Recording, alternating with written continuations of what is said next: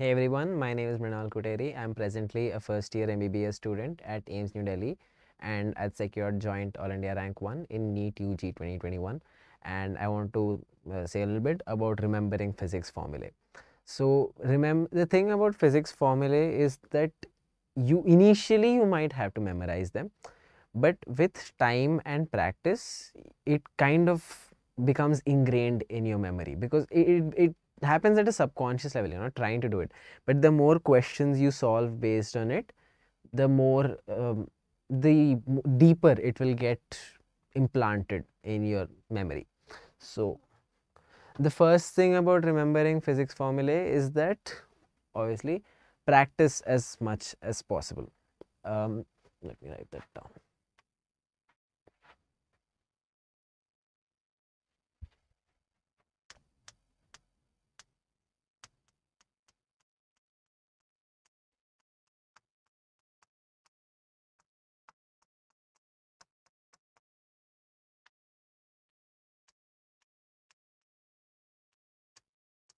cliched as it sounds, it is true. The more you practice, the more number of questions that you solve based on that particular concept, you'll find that the you kind of internalize the formula. You start using it at a subconscious level. You just see the question, you see what variables are provided, and you just know what formula has to be used. You don't necessarily have to memorize it. It happens at a subconscious level and this thing takes time. So initially when you're learning something for the first time, you will have to memorize the formula. It does not happen instantly. But this will happen with time and practice as you revise more and more, as you solve more tests, as you solve more MCQs, this will happen at a subconscious level. So with time, you won't have to necessarily memorize them. Another thing you can do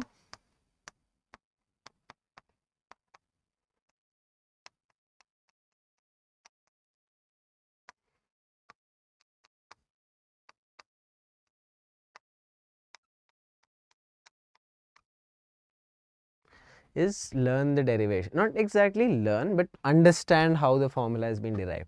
Now, some formulae have very difficult uh, derivations which you I found difficult to understand. So, those I had to memorize.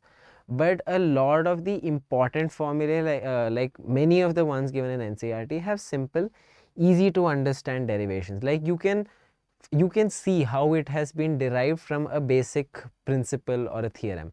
So if you read the derivation and you understand it, then if you forget the uh, final formula in the exam, you will actually be able to derive it from the theorem which you know forms the base, forms the fundamental basis of it.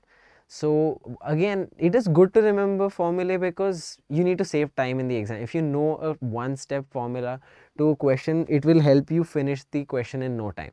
But suppose you don't remember, then learning the derivation helps you because then you will know how to derive that formula in the exam and use it. And also you will be able to know all the intermediate steps in that formula. Like each intermediate step is also a potential question. So some of the harder questions are like that. They're based on the intermediate steps. So learning the derivation gives you that added advantage as well. The other thing, the only other thing which I can suggest is making formula charts.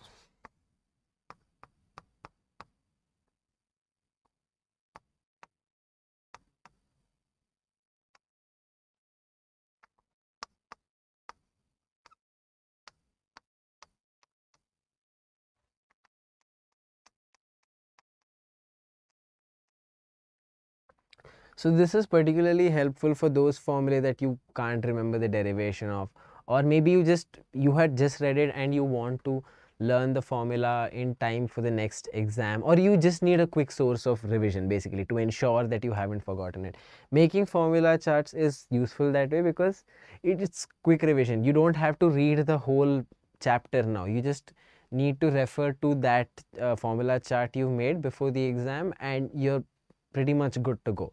So this is a more of a quick revision hack more than um, a way to actually memorize or remember formulae. I would still suggest that these two are the ways to remember formulae because this is much more long lasting. But this also, you know, seeing a formula repeatedly will again ingrain it in your uh, long term memory much the same way that these work. So there you have it. These are the ways in which you can, which these are the ways which I use to remember physics formulae Um, hope it helps you. Thank you very much. Good luck with your preparation.